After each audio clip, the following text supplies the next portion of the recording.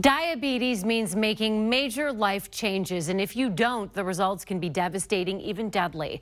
With 86 million people nationwide considered pre-diabetic, Dr. Lori from HCA Midwest explains what you can do to turn things around. What is the difference for people watching between type 1 and type 2 diabetes? Type 1 diabetes is generally considered to be a problem with the pancreas where it's not producing insulin. Type 2 diabetes is a situation where insulin is being produced normally, but it's just not processed normally, and sugar's not processed normally out of the bloodstream.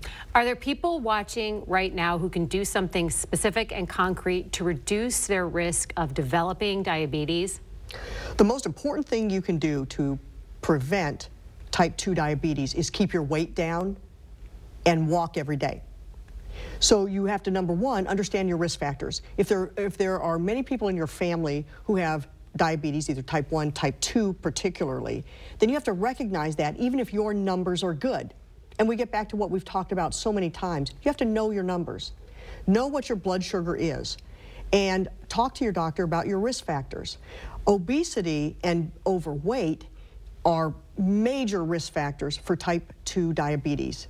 And we see this now more and more in teenagers and even middle school kids. Hmm as we have become a nation that's just larger and larger. And there's lots of reasons for that, public health reasons, diet, those types of factors contribute to our eating more, getting larger, and increasing our risk for type 2 diabetes. So we're seeing an increase in tweens and teens developing type 2 diabetes That's exactly right. That's absolutely right, Alexis. And what we know is that if we don't curb this trend for overweight and obesity, the diseases that we used to see that were really those of later adulthood related to diabetes, now we'll see in third and fourth decades of life. We'll see those diseases that are related to diabetes much earlier. Vision problems, chronic kidney disease, which oftentimes can be fatal heart attacks, strokes, those types of events that really were later in adulthood, now we will see earlier and earlier because the disease has had an opportunity to manifest itself from tweens to teens on.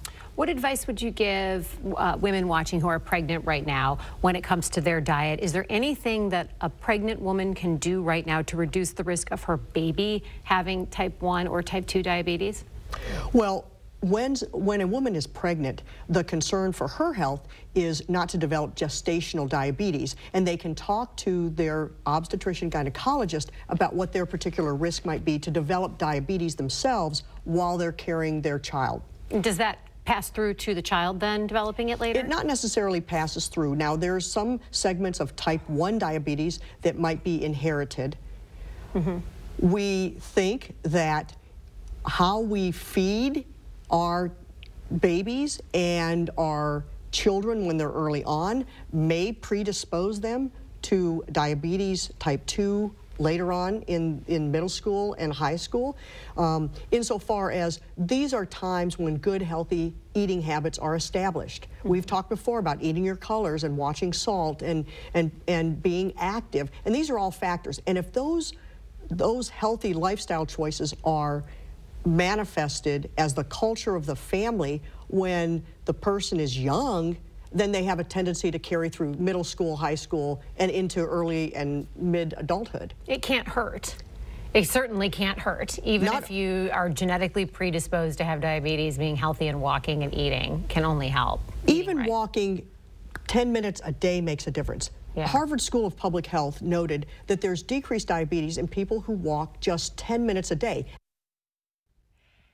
If you need help losing weight or finding a diabetic specialist, just go to hcamidwest.com.